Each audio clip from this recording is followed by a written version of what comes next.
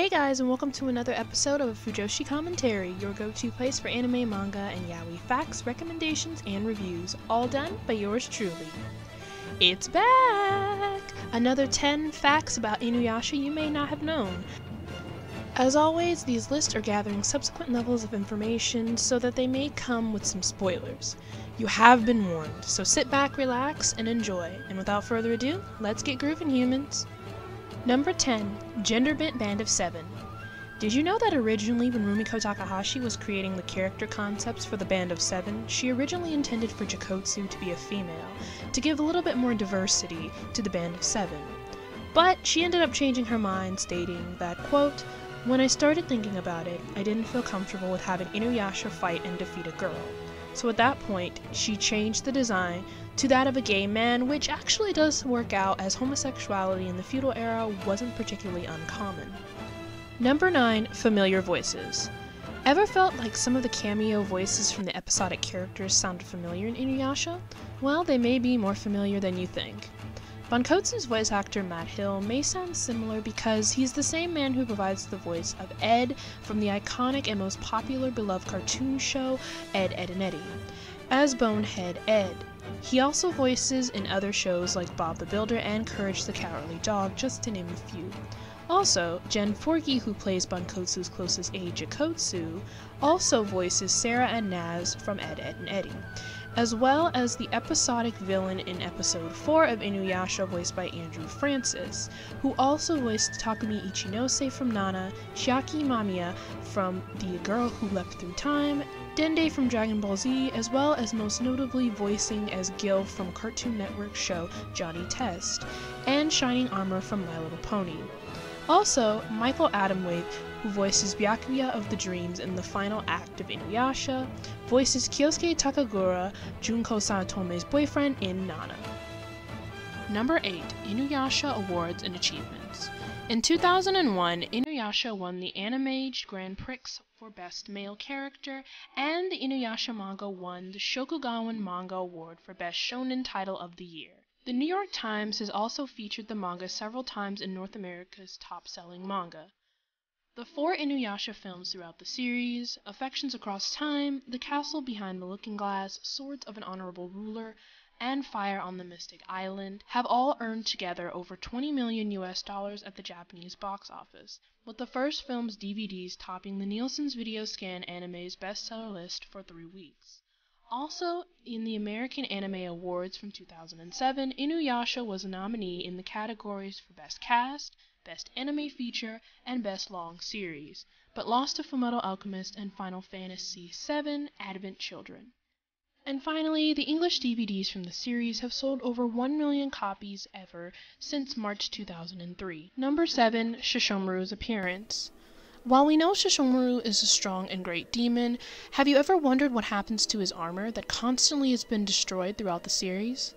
Well, Sesshomaru's spike pauldron that covers his left shoulder attached to his upper sections of his cuirass and lotus petal faulds is revealed that it simply regenerates through his yoki, which is simply his demonic energy. Also, his armor and clothing resembles that of Chinese clothing rather than the traditional obi and kimonos. This includes his ankle-length boots that resemble that of Chinese foot soldiers' attire. In addition, the huge fur on his back is actually his Moko Moko Sama, which is basically his tail and sort of fur that reigns freely when he turns into a full demon, and is just restrained to his right shoulder. Number 6 Family Ties. While Inu no Taisho is the only demon blood that runs through Inuyasha's veins, they also do share the same markings as well. When Inuyasha goes full demon, he has two purple stripes that are similarly marked in the same jagged edge as Inu no Taisho's, which are blue on both cheeks. Sesshomaru has two magenta stripes on either side of his cheek, like his mother.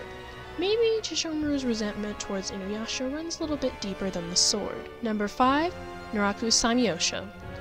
As ugly and creepy as some of those damn poisonous insects are, did you know, technically speaking, those insects are actually real or inspired off of real insects in Japan?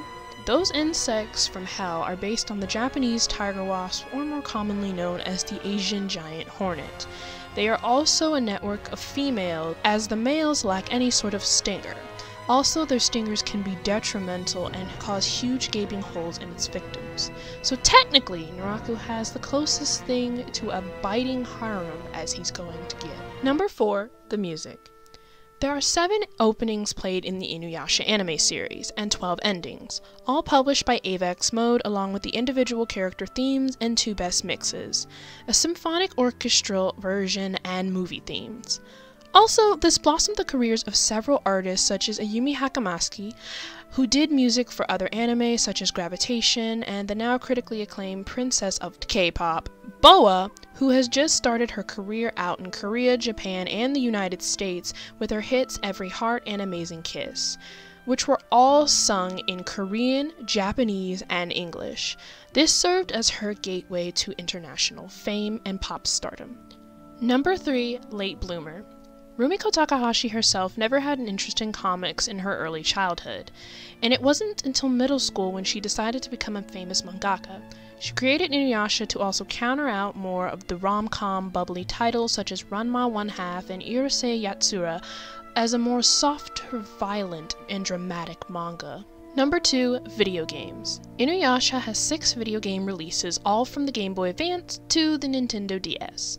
However, only five are available in English translation and sold in the US, as one game in particular for the Game Boy Advance, Inuyasha Naraku's Trap, Invitation to the Forest of Confusion, is only available in Japan.